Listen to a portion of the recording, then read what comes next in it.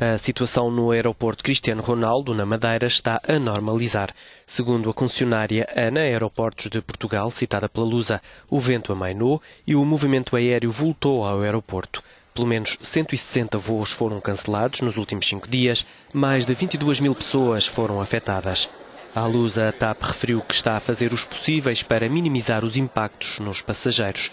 Várias companhias aéreas optaram por desviar os voos para Porto Santo, os passageiros seguem depois para o Funchal, a bordo dos navios que fazem as ligações entre as ilhas. Para esta terça-feira estão previstos mais de 50 movimentos no Aeroporto Internacional da Madeira, que apenas se realizarão na totalidade se o vento der tréguas. O Instituto Português do Mar e da Atmosfera mantém o aviso amarelo para a Madeira até quarta-feira, devido à previsão de vento forte com rajadas na ordem dos 80 km por hora.